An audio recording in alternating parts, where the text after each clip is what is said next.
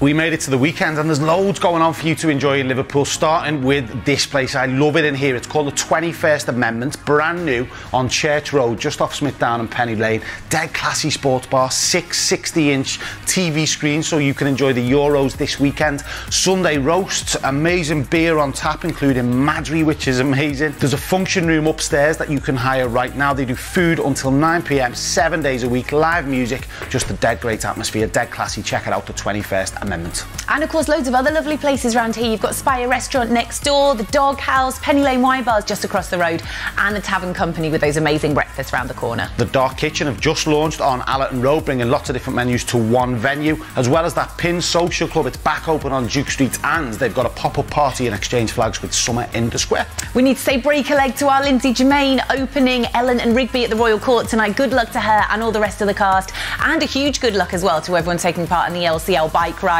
this Sunday, raising money for amazing charities such as the Bobby Calleran Trust. Hope it goes amazing. Amazing cause. And another amazing cause is Northwest Cancer Research. Big bike ride again on Sunday happening in Southport for them. Good luck to all involved. And our Speedo, Mick Gem, is still in his Speedos. Uh, he's currently in Ireland, 2,000 miles uh, he's trying to do. He's trying to complete this mammoth journey, all raising money for great causes. Follow him on Twitter right now. If you're out for food this weekend, remember the Watering Can in Greenbank Park open doing food in the evenings now, which we love.